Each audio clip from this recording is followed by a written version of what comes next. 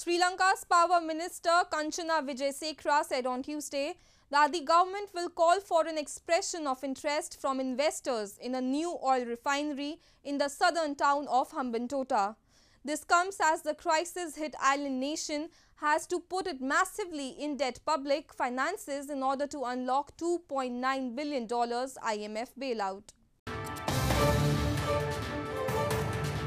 Sri Lanka will call for an expression of interest from investors in a new oil refinery in the southern town of Hambantota, Power Minister Kanchana Wijesekera said on Tuesday. The decision was made by the government's cabinet, Wijesekera wrote on Twitter as the island nation takes measures to tackle energy crisis. Hambantota is also the site of a Chinese-built port.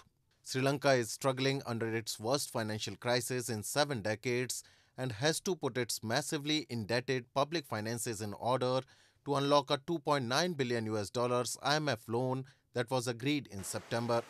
The cabinet on Monday also approved new electricity tariffs to reflect the cost of coal and power generation to take effect this month, Wijesekera said, without saying how much higher they would be.